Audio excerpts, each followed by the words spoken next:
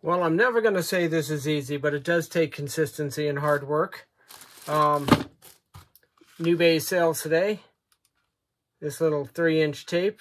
Got uh, uh, 20 bucks for it. Little uh, bobblehead dog.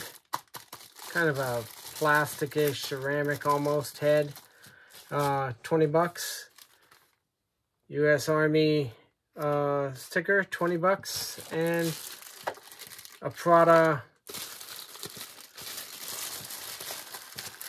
can't really see it, but Prada uh, box, just the box, not the glasses, just the box was 30 bucks. Thanks for watching. Anyone can do this. You have a great day.